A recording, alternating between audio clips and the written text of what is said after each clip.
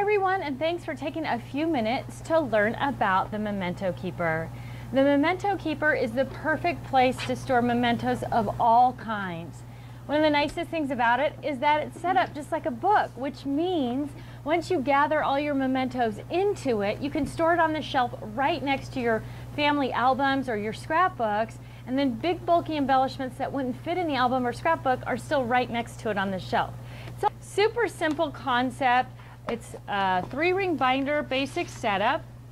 On the inside, you've got three pockets on this side, you've got two pockets on a three ring section in the middle, and then another great big pocket on the back.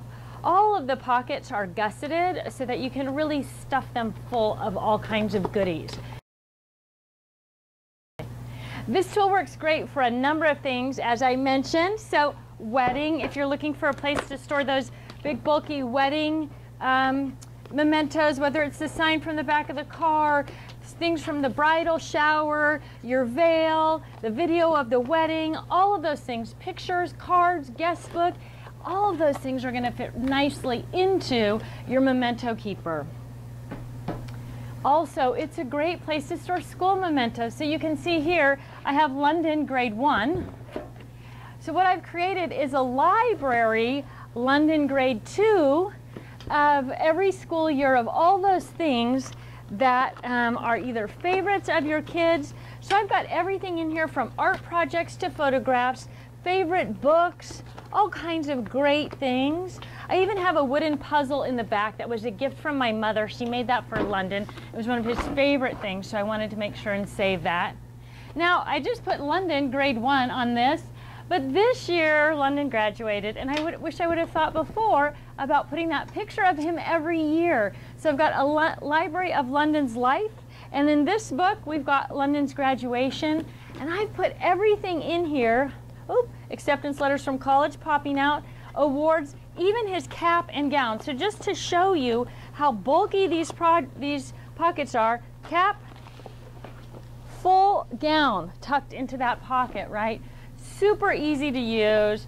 You can stuff them full of goodies. You can use one for every year. You can use them for vacations or big events or if you're planning something. My sister's remodeling a house right now, so she has all the things the plans, the paint samples, the carpet samples, the fabric samples, everything is in one of these. Now I know there's a few scrapbookers out there and you're probably thinking, ooh, I wonder if it's 12 by 12, and it is.